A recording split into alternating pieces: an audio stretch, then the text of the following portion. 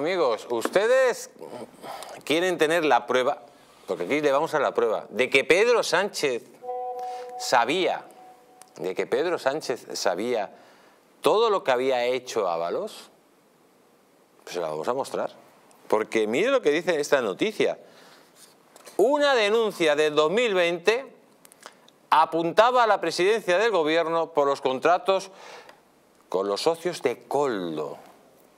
Una denuncia presentada en el 2020 ante el Tribunal de Cuentas requería al organismo fiscalizador que se solicitase determinada información a la presidencia del Gobierno sobre las adjudicaciones de empresas soluciones de gestión y apoyo a empresas SL, que ahora implican por presunto cobro de comisiones a Coldo García, uno de los asesores del exministro José Luis Ábalos y Sancho Cerda, Sancho, Santo Cerdá.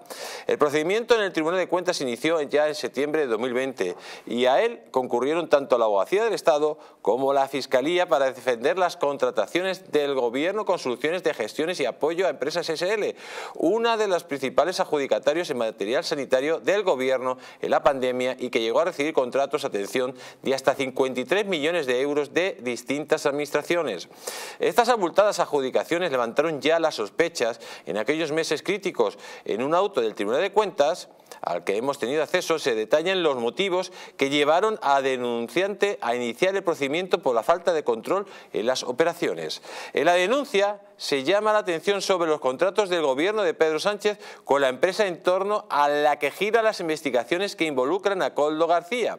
Se dice, por ejemplo, que Soluciones de Gestiones y Apoyos a Empresas SL no tenía dedicación a temas sanitarios, sino a la intermediación en el comercio de productos diversos y que estaba administrada por la empresa Purden Investment SL, que figura como deudor fallido de la Agencia Española de Administraciones Tributarias.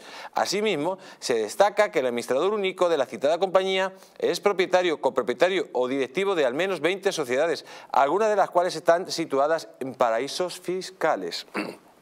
Pese a ello, esta adjudicación realizada por puertos del Estado fue aceptada por el presidente de dicha entidad dos días después de que la misma hubiera realizado un pago, sin previa garantía que se conozca muy superior al capital social de la empresa adjudicataria y al de que administraba. Igualmente, según hacía constar el denunciante, la adjudicación del suministro de mascarillas derivaba de la orden TM barra 292 barra 2020 del 26 de marzo. El Ministerio otorgó un anticipo del aval por un importe del 50% de suministros de mascarillas.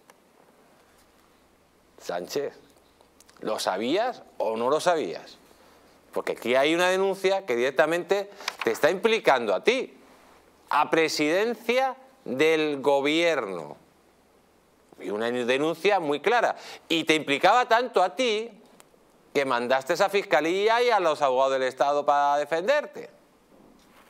Es que esto es, eh, eh, es como si yo me, ponen una denuncia, mando a los abogados para, para defenderme y luego digo, no, es que yo de esa denuncia no sabía nada, pero oiga, si lo sabía perfectamente. Claro, pero es que esto es absurdo, o sea, quiero decir, estamos divagando que desgraciadamente mm, necesitas hechos consumados, pero es que aquí tienes un hecho consumado.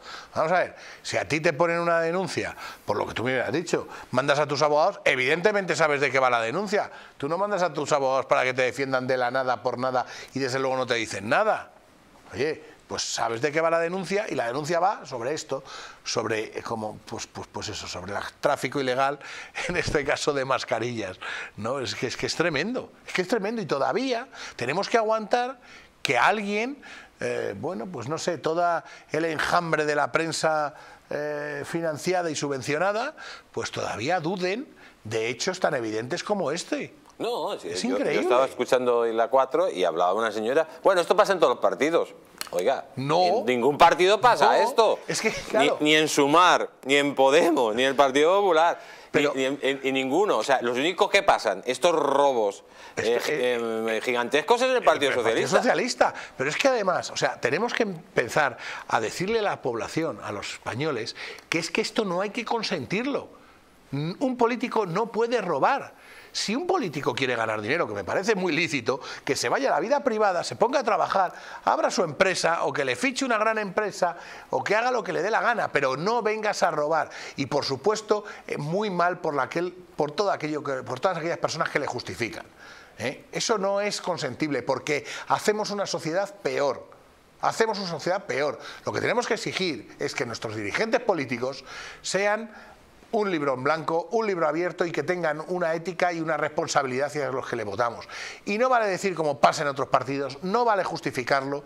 Esto no es la política. Tenemos que, yo comprendo que Sánchez nos ha llevado y la izquierda en este país eh, nos ha llevado a esto, pero la política no puede ser un, un partido de fútbol de hooligans. La política tiene que ser algo de altas miras, donde, se vaya, donde vayan los mejores, donde la gente deje su vida por darla por, por los demás. Y esto no es eso. Esto, justificar eh, todo esto no puede ser, no puede ser.